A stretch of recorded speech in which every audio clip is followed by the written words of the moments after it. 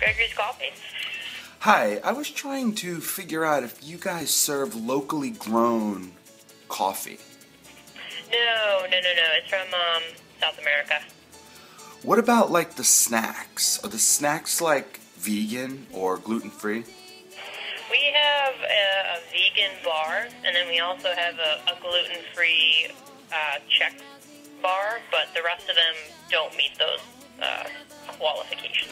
Is it like, is your place like a hipster place, like edgy, or would you say mainstream?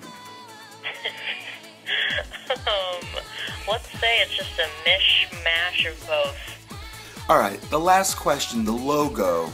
Those glasses on Gregory? Yeah. Do those have lenses and are they black frame glasses? On the logo, they're actually white, and Greg's glasses vary.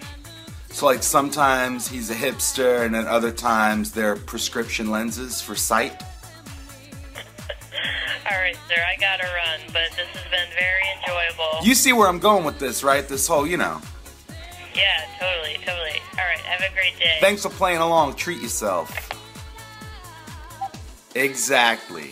Sometimes the glasses have lenses, sometimes they don't. Sometimes they're prescription, sometimes they're for fun. You can't win. You know what the message is? You know what the message that hipsters are putting out there? Just do what you want as long as what you do doesn't make any sense to anybody. As long as nobody can make any sense of what you're doing, then you win. Alright? I still don't get it. Anyway.